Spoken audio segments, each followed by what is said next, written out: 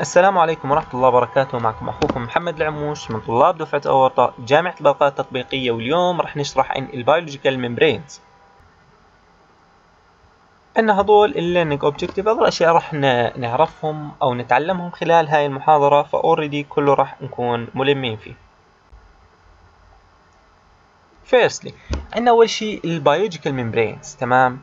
In aqueous solution phosphoglycerides spontaneously form into a lipid bilayer.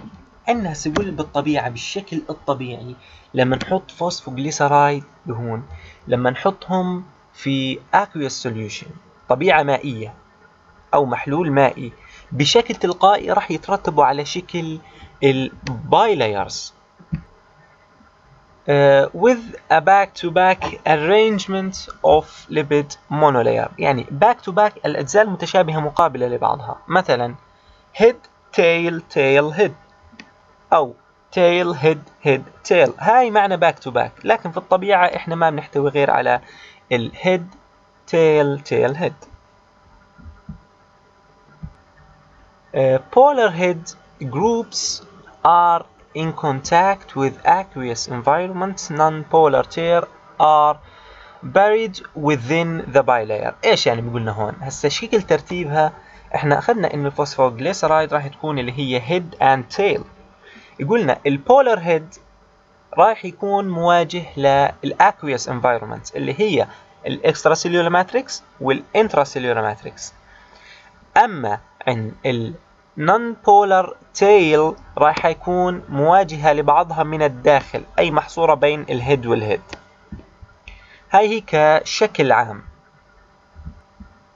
في عندنا هسا إيش القوة اللي تخلي ال tails مرتبطين ببعض؟ اسمها hydrophobic interaction هاي هي ال interaction الطاقة أو القوة اللي بتخلي ال tails مرتبطين في بعض. بحكي لنا كمان the arrangement of hydrocarbon tail in the interior can be rigid. يعني الصلب. في حال إنه rich بال saturated fatty acid اللي هي ال saturated fatty acid اللي هي ال fatty acid اللي بيكون فيها ال tails ما فيهم اللي هي double bond هذا saturated. إذا كان في عندنا كثير saturated راح يكون صلب أو شبه صلب يعني إنه مائل إلى الصلابة. أو إنه يكون fluid مائع أو سائل إذا كان rich in unsaturated fatty acids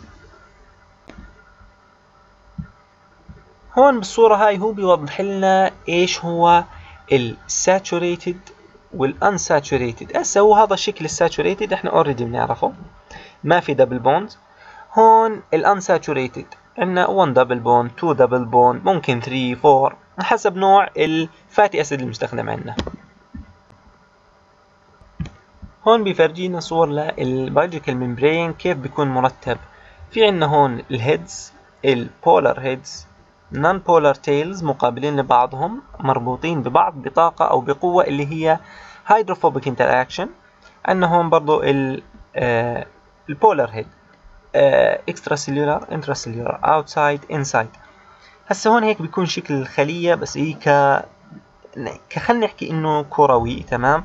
وفعليا هي غير منتظم شكل خلية.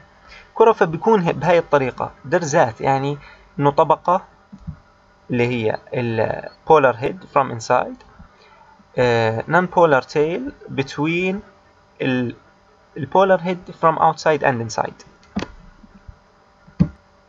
بس خلينا نعرف إيش هي ال micelle تمام؟ هسه ال micelle عبارة عن آه تجمع تمام؟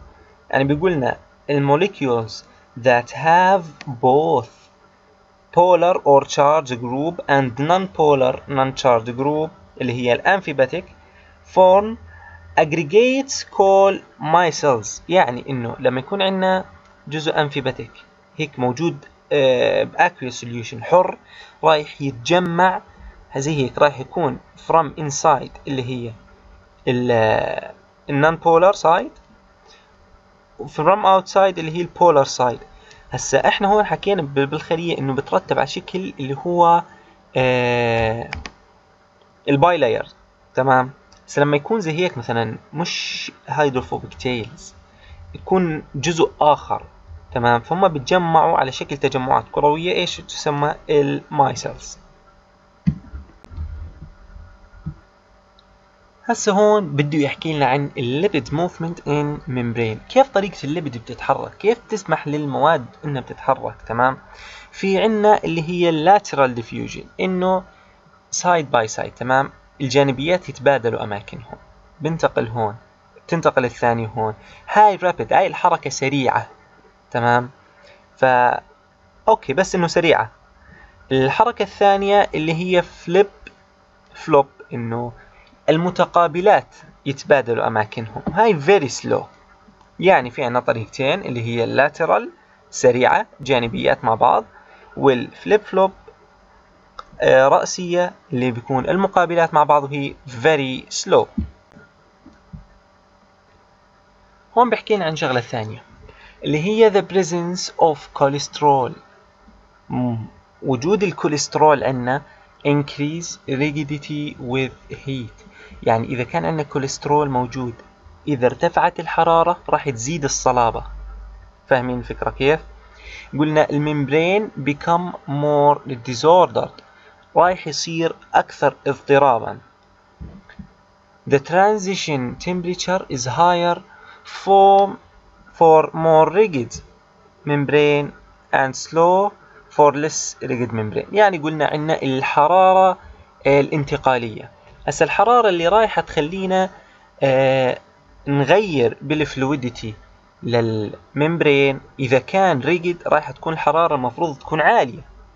يعني نسبة اختلاف الحرارة. مثلا كان ال membrane آه صلب عند درجة حرارة 37 لازم نرفعه لدرجة حرارة عالية أكثر بكثير عشان يصير more fluidity.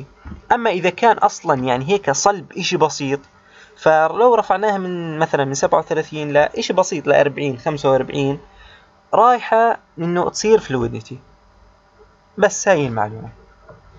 ال plants membrane have a higher percentage of unsaturated fatty acid than animal membrane. هاي ما معلومة صرفة بس بدها ترجمة. اللي بحكي لنا إنه النسبة المئوية لل unsaturated fatty acid بال plant membrane اللي هي جدران خلايا النباتية أكثر بكثير منها الموجودة بجدران خلايا الحيوانية.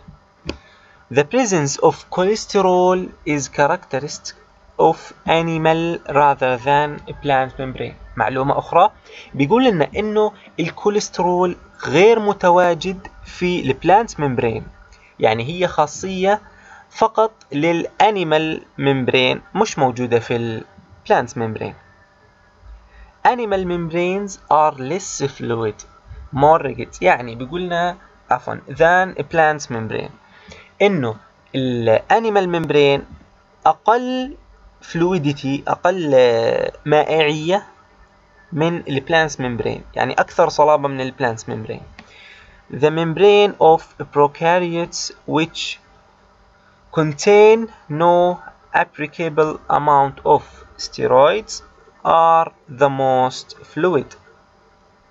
يعني بيقولنا هون إنه ال prokaryote ما عندها ستيرويد نهائيا ما عندها ستيرويد فمشان هيك تصنف ال prokaryote على إنها the most fluid membrane. أكثر membrane فيه سائلية أو ميوعة.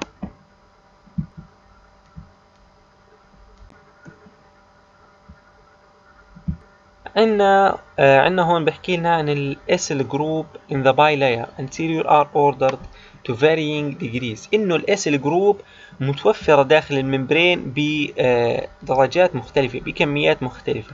إيش هي ال acyl group هسا ال acyl group عبارة عن moiety derived from removal of one or more hydroxyl group from an oxoacid.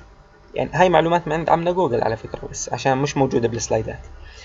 آه إنه هي عبارة عن مجموعة وظيفية تشتق بإزالة عدد من مجموعات الهيدروكسيل من حمض الأكسجيني بما في ذلك الأحماض العضوية.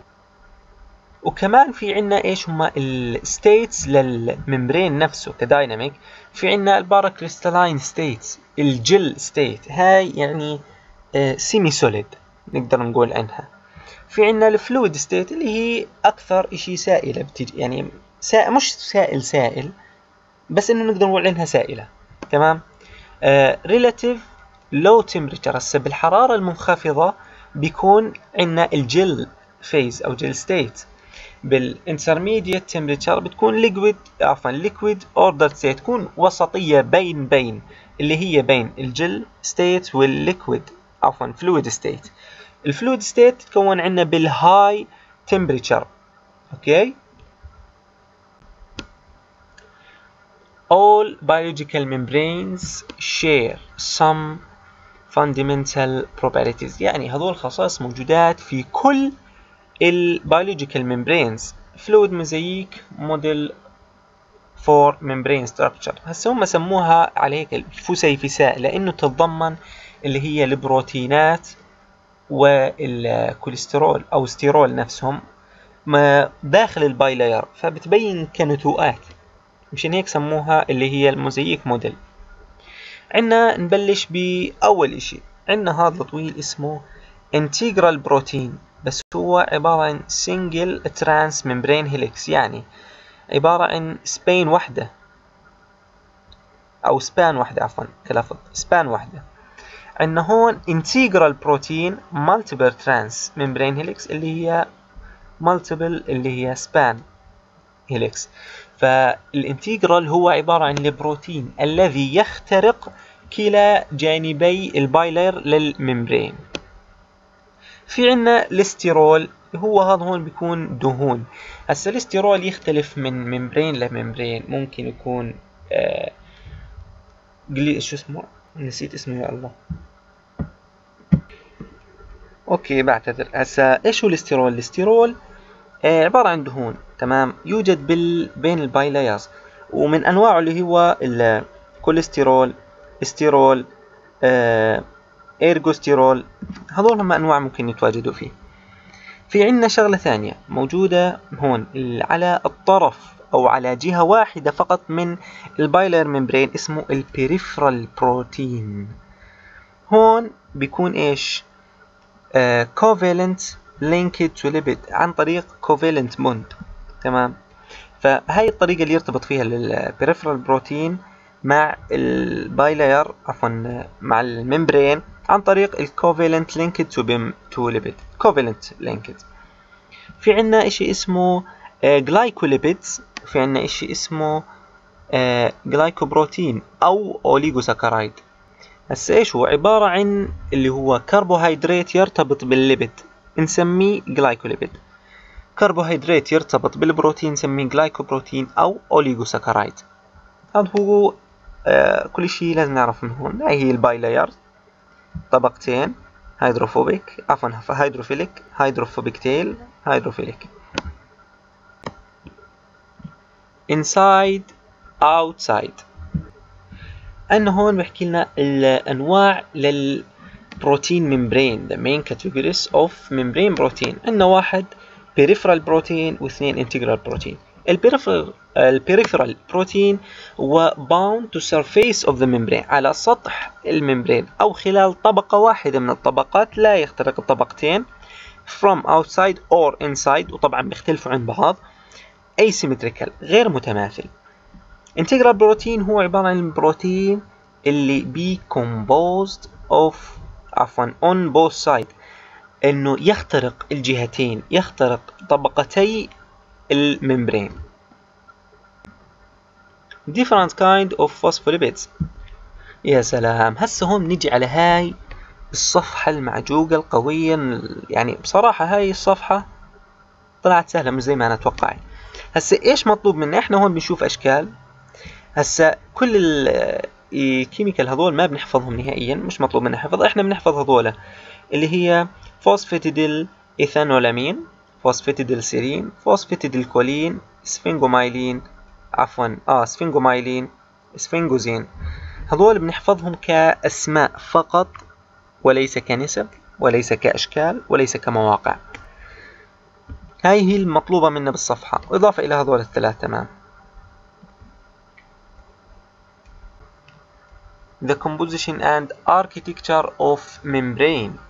هسا بيقولنا هون إنه كل membrane بيختلف عن الثاني. Each type of membrane has characteristic lipid and protein. كل membrane لكل خلية لكل نوع لكل كائن حي بتختلف عن الثانية من حيث المكونات ونسبتها في ال membrane. عندنا مثلا هون هذا الجدول بحكي عن ال human myelin sheath إحنا بنعرف إنه ال myelin sheath هي اللي بيحيط بال axon بيكون عندنا تتكون ال membrane تبعها من 30% بروتين 30% فوسفوليبيد 19% ستيرول. إيش نوع الاستيرول؟ كوليسترول في احتمال بدل الكوليسترول يكون عندنا other lipids يعني إنه غير الكوليسترول. في عندنا galactolipids plasmalogen تمام؟ في عندنا ال mice أو ال mouse liver 45% بروتين 27% فوسفوليبيد 25% ستيرول. إيش نوع الاستيرول؟ اللي هي كوليسترول على هذا النحو إلهم كلهم. فواحد يعني هيك لاحظ ملاحظة بيقول إحنا عندنا 30% مثلا بال human sheath 30% بروتين 30% فوسفوليبيد 19% ستيرول. هذول 79% طب وين الباقيات؟ ال 11% اللي ضلوا وين؟ عفوا ال 21% ضلوا وين؟ بنقول له في عندنا note ال value do not add up to 10 عفوا to 100% in every case مش ممكن يعني إنه يكونوا كلهم 100% مجموعهم ليش؟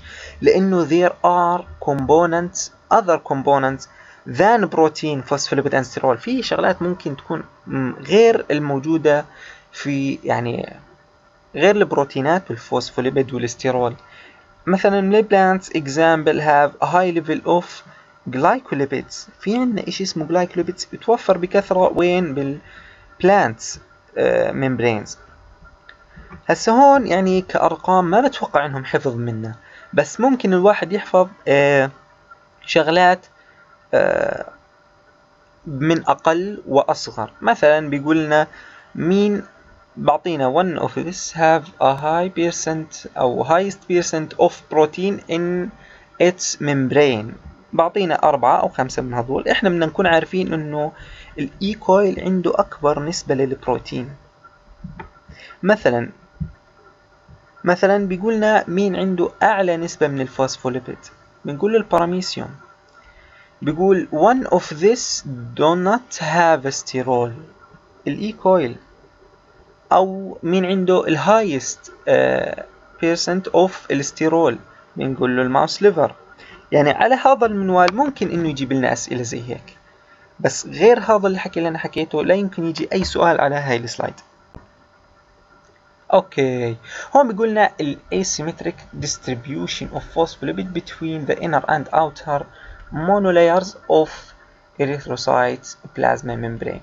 هسا بيقولنا عند مثلا خلية الكرية الدم الحمراء ال erythrocyte الخلايا الدموية. فهون بيقولنا إنه توزيع الفول الفوسفوليبيد ما بيكون متساوي على كلا طرفي ال inner وال outer layer فإنه كمان هيك بدنا نعرف إنه ال... يعني مش كلهم متساويين على نفس الجهة. يعني مثلا بال phosphatidyl آه إيثانولامين تمام. 80% من هذا الفوسفوليبيد بيكون بال inner layer وال20% الثانيات بيكون بال outer layer مش مطلوب منا نحفظ نسب مش مطلوب منا نحفظ يعني النسب فإيش مطلوب منا هنا؟ إنه يجي كسؤال. بدنا نميز إنه عندنا هون. ال phosphatidylcholine وال sphingomyelin هم فقط الاثنين الوحيدين اللي بيكونوا ال outer نسبة ال outer monolayer في الفوسفوليبيد أكثر من ال inner layer هاي معلومة. معلومة ثانية بدنا نعرف إنه ال phospho آه phosphatidyl inositol 4 فوسفيت هو الوحيد. الوحيد الذي لا يمكن إنه يتواجد بال outer monolayer هذول الشغلتين اللي حكيتهم فقط هم يعني اللي ممكن يجوا عليهم أسئلة هاي slide غير هيك ما بتوقع فيه. Peripheral membrane protein are easily solubilized. هون بحكي لنا عن طريقة إنه كيف ينفصل البروتين عن ال membrane. الطريقة في عنا اللي هي ال peripheral protein كيف؟ انه يكون في عنا GPI linked protein هذا الرابط اللي بربط ال peripheral protein بال phospholipid هون. فبيجي عندنا اللي هو phospholipase C يدمر هاي الرابطة فبنفصل ال glycoprotein ال integral protein هذا بما إنه كبير فلما ينزلق أو يخرج من ال membrane رايح يحيط في أجسام هاي. اللي بتسبب له detergent تمام؟ آه عفوا. detergent هسه إيش هو ال detergent هو عبارة عن آه يا ربي بسم الله الرحمن الرحيم. هسه detergent uh, is a surfactant or mixture of surfactants with a cleansing properties in dilute solution. يعني هذا عبارة عن منظف زي منظف. يحيط مباشرة بال يحيط مباشرة هذول هم يحيط مباشرة بال integral protein كونه hydrophobic تمام؟ هاي هي اللي بيصير عندنا لما يصير uh, solubilized لل peripheral and integral protein. عندنا هون هاي ال slide. هسا في slide عفوا في صورة خارجية من عند عمنا جوجل بتبين لنا وبتوضح لنا ال types هذول لأنه بما إني أنا سألت الدكتور وحكى مطلوب منكم الموجود والمرسوم والغير موجود والغير مرسوم. يعني بدك تعتمد على حالك أتوقع معناها إنه تطلع إيش هم هذول ال types. رايح أنزلهم مع الفيديو بإذن الله. Integral protein are held in the membrane by hydrophobic interaction with lipids. حكيناها ببداية السلايدات. إنه integral protein شو اللي بيحفظها؟ عفوا لا إحنا ما حكيناها. إحنا حكينا إيش بيحاول إنه يبقي ال bilayers مع بعض. عفوا. ال integral protein شو اللي بيخليهم بيظلوا داخل ال bilayer ما بيروحوا بلا بيجوا. اللي هي عبارة عن ال hydrophobic interaction مع ال lipid. تمام؟ هسه رايح آه، أحكي عن ال types من الصورة اللي عندي. ولا أقول لكم خلص انسوا بس أنزل الصورة أنزل ال voice معها. هيك أحسن يكون. Covalently attached lipid anchor some membrane proteins إيش هي ال lipid انكور الليبيد انكور بروتين هي عبارة عن البروتينات المثبتة بالدهون وهي عبارة عن بروتينات proteins located on the surface of cell membrane that are covalently attached to lipids embedded within the cell membrane بالعربي يعني هي بروتينات موجودة على سطح الغشاء الخلية تمام؟ على سطح ال membrane مرتبطة برابطة covalent تساهمية بال covalent bond مع إيش؟ مع دهون موجودة داخل ال membrane. هاي هي الدهون. هاي هي الدهون مثلا زي هيك. هذا مرتبط فيها. هذا هم ال anchor membrane proteins. هون بدنا نحكي عن ال membrane function as selective chemical barrier. يعني آه كيف اللي هو ال membrane آه ينتقي المواد التي تدخل. يعني في شغلات هو بسمح لها بتدخل في شغلات بسمح لها تدخل بكثرة في شغلات ما بسمح لها في شغلات هيك إشي بطيء. مثلا في عنا ال small uncharged molecule اللي هي ال hydrophobic molecules بتكون سمول بيسمح لها إنها تمر على طول. زي ال O2 CO2 N2 البنزين اللي هو الإيثانول جليسرول في عنا السمول uncharged بس إنها polar هون hydrophobic يعني non-polar هون polar بس uncharged.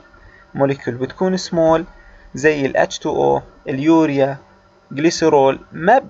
هو بدخلها بس بكميات أقل من اللي فوقهم اللي هي hydrophobic بكميات أقل.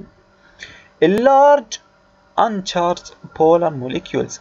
هذولا زي الجلوكوز والسكروز هذول يفوتهم بكميات ضئيلة جدا.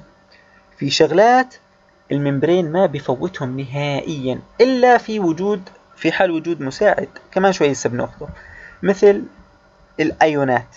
جميع الأيونات لا يمكن يدخلوا بشكل حر من آه، ال membrane.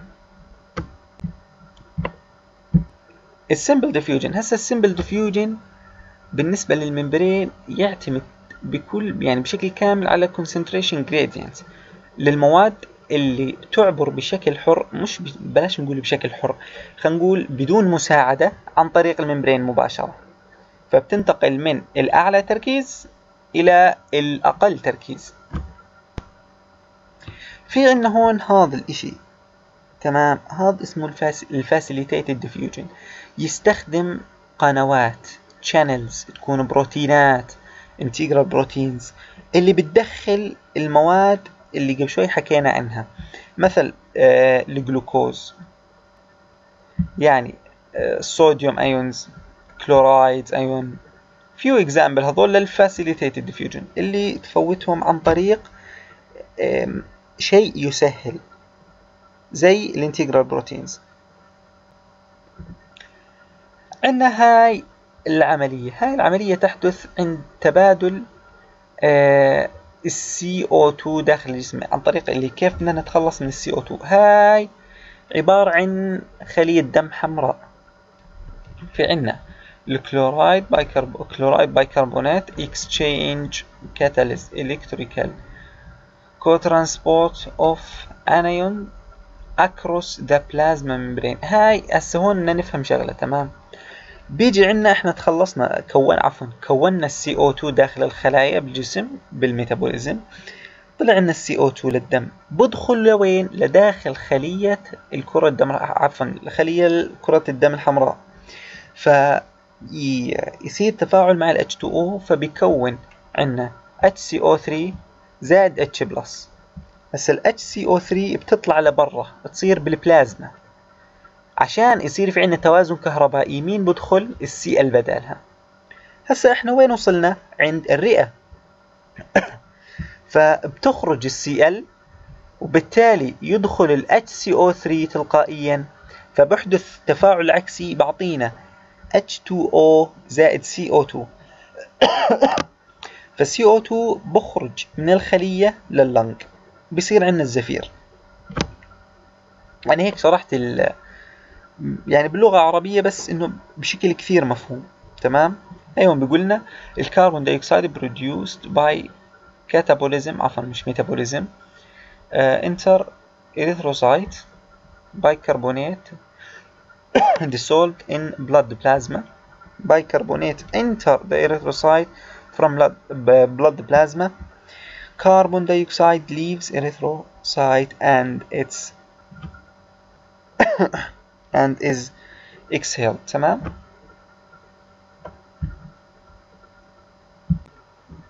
نيجي عندنا هون ل الطرق اللي بتنقل فيها المواد. تمام؟ Class of transport systems.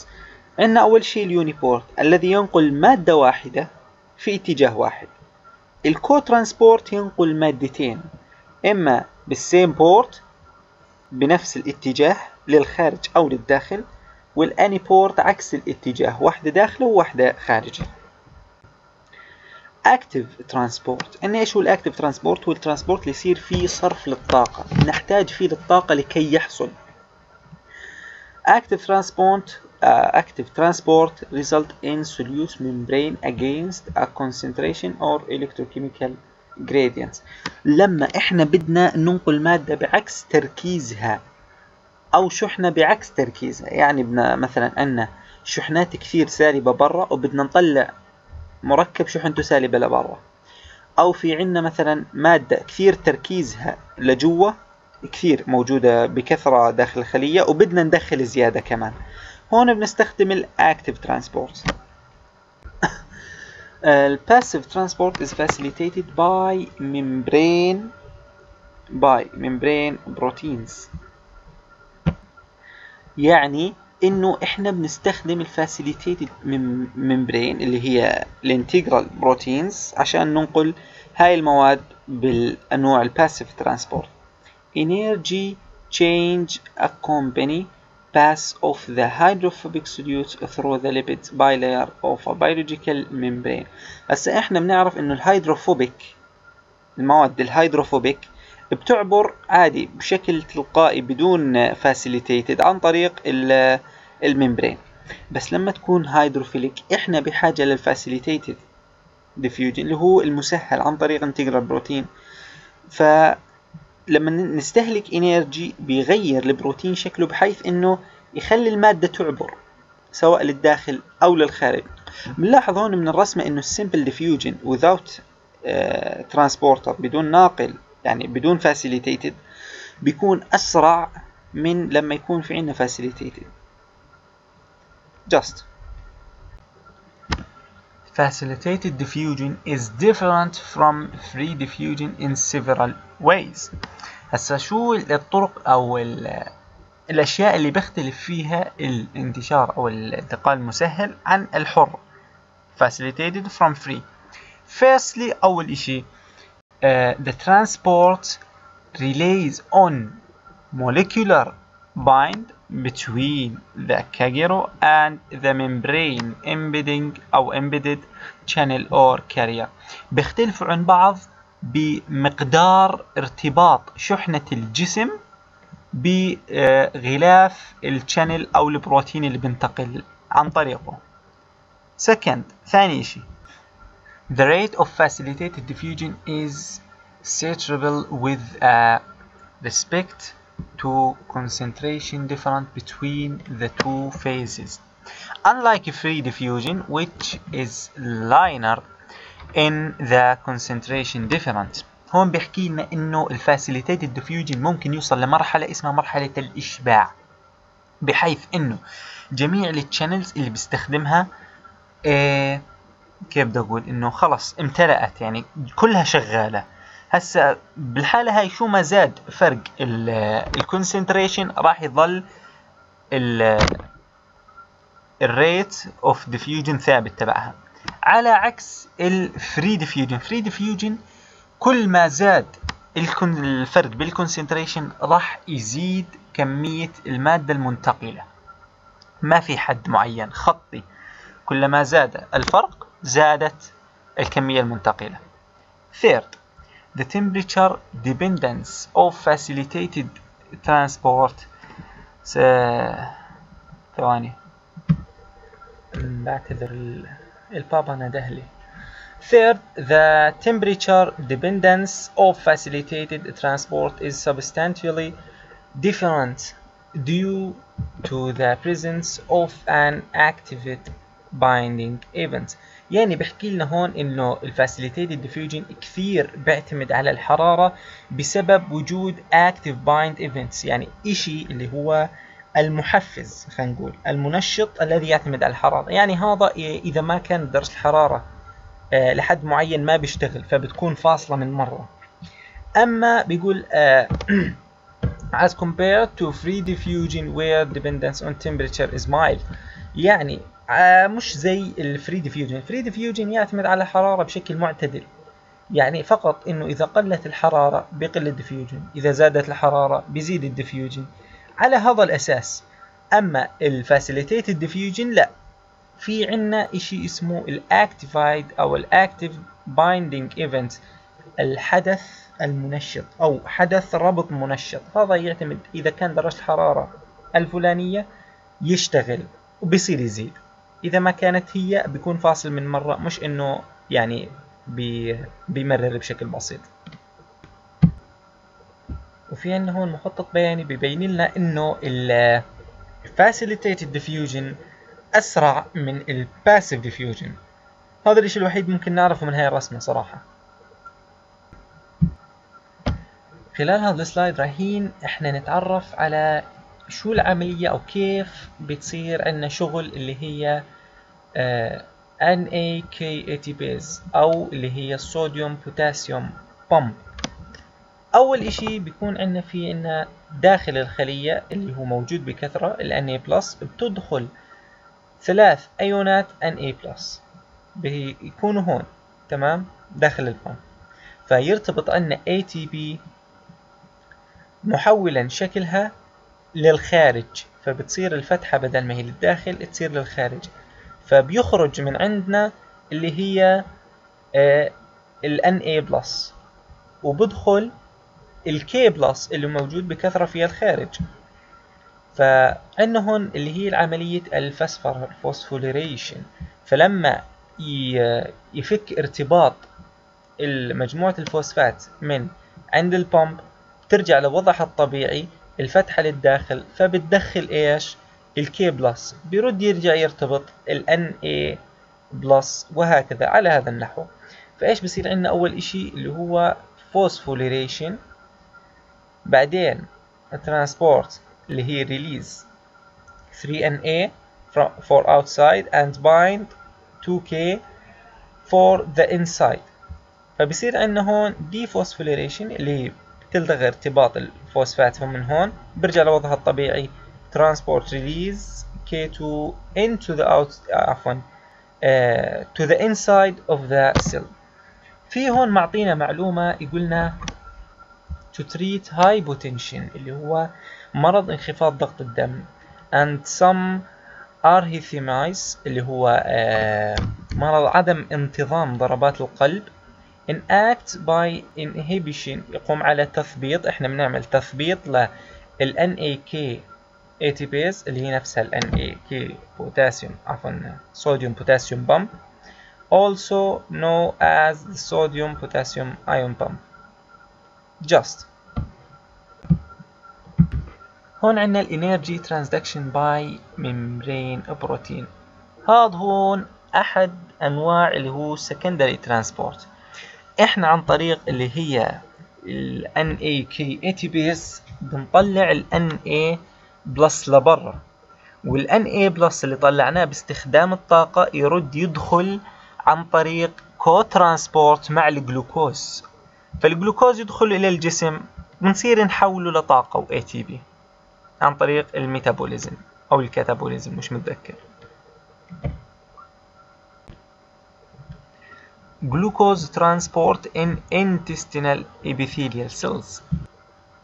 هون بحكي لنا عن اللي كيف بدنا نستخلص الجلوكوز من الطعام الموجود داخل ال intestine. هاي هون intestinal lumen داخل ال intestine عشان نوديه لل blood ويتوزع على أجزاء الجسم. أول إشي بصير عندنا عن طريق ال co-transport عن طريق ال channel الموجودة على ال microvilli بدخل معنا اثنين صوديوم وواحد جلوكوز. هسه الاثنين صوديوم صاروا داخل الجسم. تمام؟ فعفوا اثنين صوديوم والواحد جلوكوز صاروا داخل جسم الخلية. فبتلتقي هنا واحدة زيادة مع الصوديوم بتطلع لبرا وبتدخل اثنين K plus عن طريق اللي هي ال NaK ATPase اللي هي نفسها sodium potassium pump وعن طريق channel مخصصة للجلوكوز.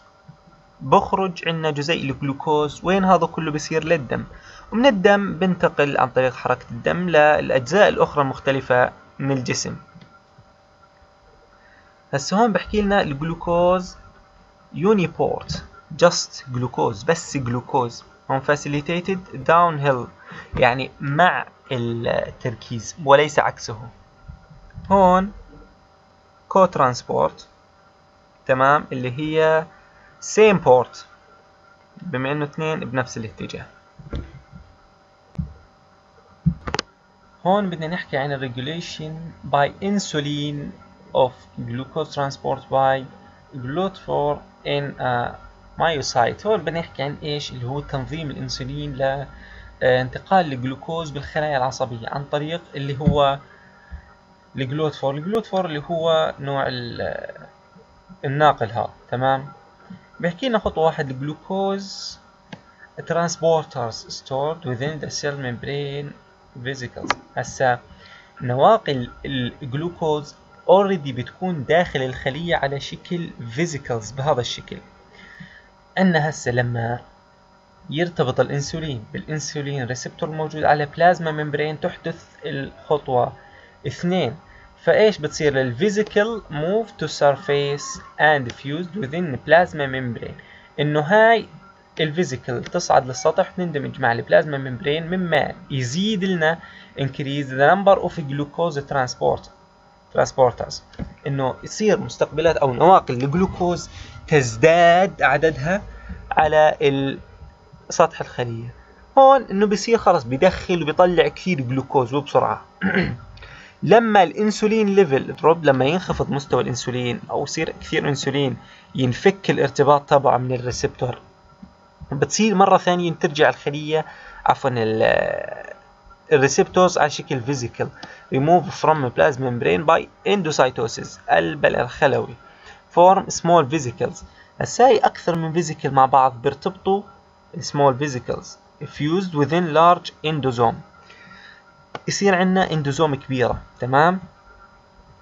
هسا patches of endosome enriched within glucose transports but offer become small vesicle ready. يعني مع الوقت هاي ال endosome الكبيرة بتتقسم ل vesicles صغار بحيث إنه يرجعوا جاهزين إنه يرتبطوا بالسطح في حال ارتباط الإنسولين بال insulin receptor هاي كدورة يعني دورة كاملة متكاملة. في عنا ال lactose uptake in E. coli تمام؟ هاي العملية بتصير عن طريق two steps من ال co-transport أول وحدة بيكون في عنا H plus داخل الخلية. فبنضطر إنه نستخدم فيول مصدر للطاقة ينتج لنا CO2 يعني إنه هذا بينتج CO2 بحيث إنه خلص هيك عن طريق ال co-transport هذا بيطلع ال H plus لبرا. بيكون في عنا لاكتوز برا الخلية. بال co-transport تبع اللاكتوز إنه نستا إنه يدخل H plus مع اللاكتوز داخل الخلية. هيك بالطريقة هاي إنه يدخل اللاكتوز لجوا وال H plus برضه يدخل لجوا عشان يستعد يطلع مع الفيول اللي ينطينا CO2 مرة ثانية ورد يدخل لاكتوز مرة ثانية. A defective ion channel in cystic fibrosis شو هو ال cystic fibrosis؟ هذا هو اسمه مرض التليف الكيسي متى بيحدث؟